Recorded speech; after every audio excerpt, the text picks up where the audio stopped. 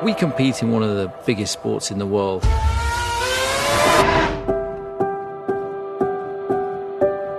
There's always adversity. You're going to lose more races than you're going to win. But it's those days that you learn the most. Data is our lifeblood in Formula One. Everything we do is driven by the data that these cars create. We're not allowed to practice like in other sports.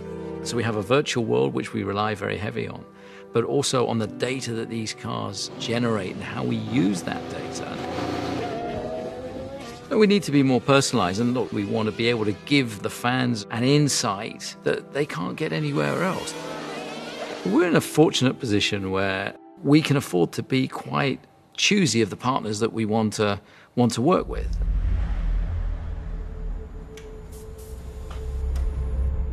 It's not just about having a sticker on the car.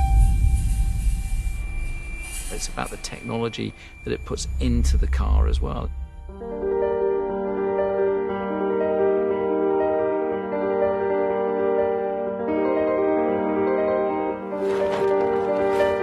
And so, therefore, a partnership like the one we have with Oracle, the technology that that opens up to us is so exciting.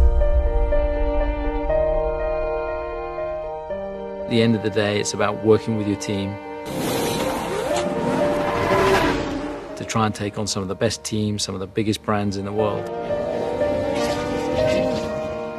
And when you achieve that, that's the biggest sense of satisfaction.